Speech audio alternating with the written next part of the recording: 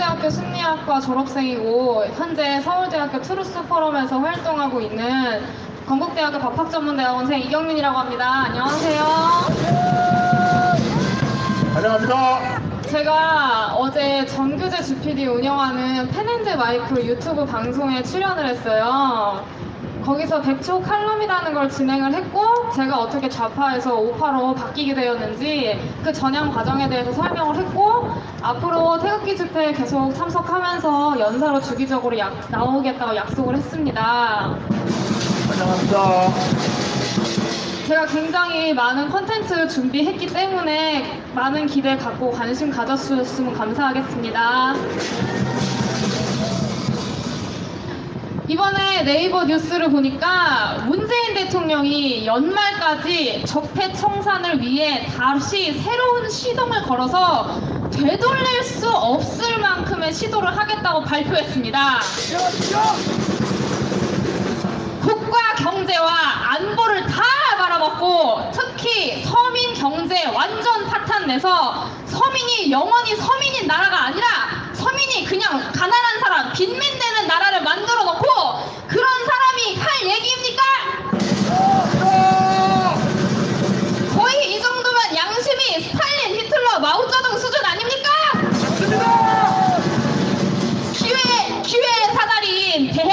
정시 다 없애고 위장 전입하시는 분을 교육부 장관으로 앉혀놓고 하신다는 말이 보수 세력 보고 적폐라고 합니다.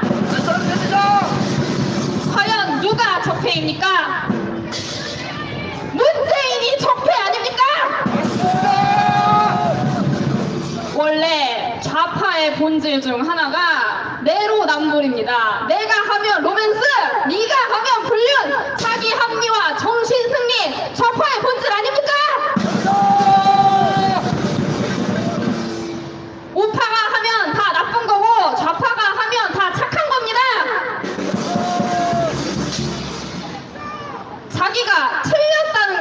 절대 인정하지 않기 때문에 시대착오적인 김정은 독재 정권이라든지 1인 독재 정권을 수립해 나가고 있는 중국에서 시진핑을 옹호하는 거 아니겠습니까?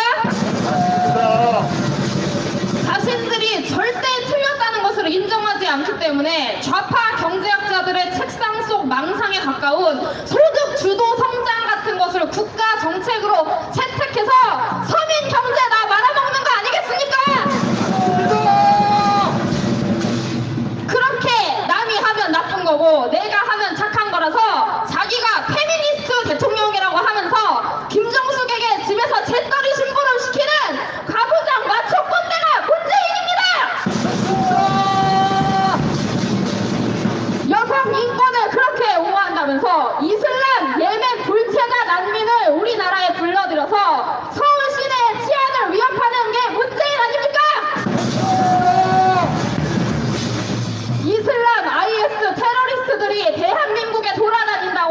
보십시오. 제가 불안해서 서울 시내 집회 돌아다닐 수 있겠습니까? 홍준표 보고 돼지 발정제라더니 미투 사건 터졌을 때 불륜범 우리나라 악질 성폭행범들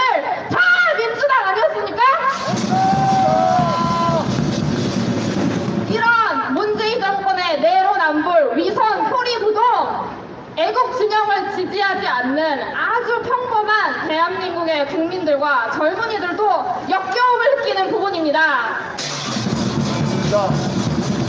제 친구가 저에게 어제 카톡을 보내서 장하성 실장의 발언을 정말 욕했습니다. 뭐라고 했는지 아십니까? 자기는 강남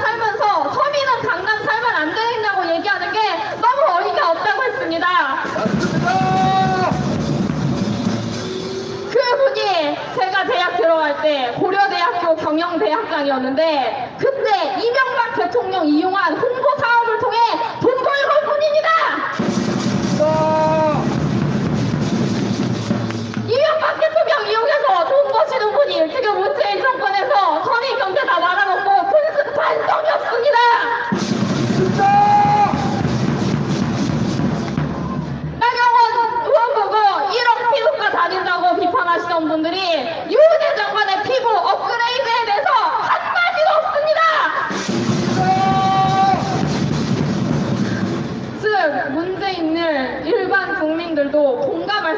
방향으로 비판하고 공격하는 방향은 그들의 그 위성과 내로남불 좌파가 하면 착한 거고 우파가 하면 나쁘다는 그들의 그런 위선을 철저히 알리는 것입니다.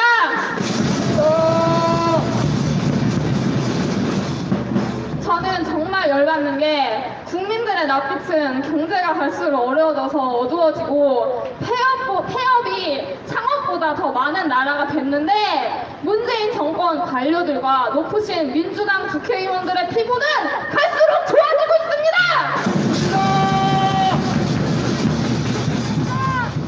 즉 좌파들은 자신들이 선이고 우파는 악이라고 하지만 진짜 악이 누굽니까?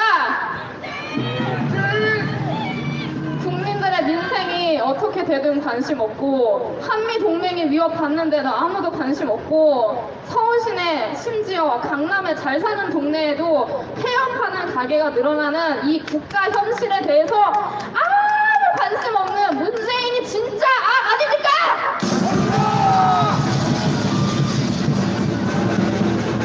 국민들은 전기요금 누진세 때문에 여름에 더워서 에어컨도 집에서 마음대로 못 틀거든요?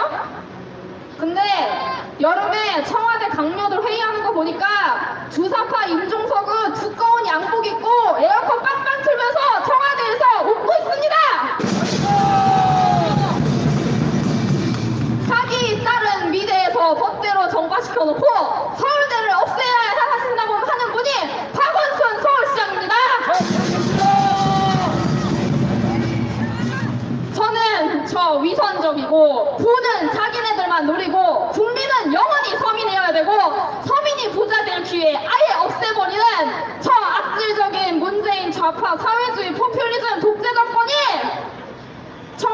청와대에서 방 빼고 국민들에게 심판받는 그날까지 이 자리에 나오겠습니다.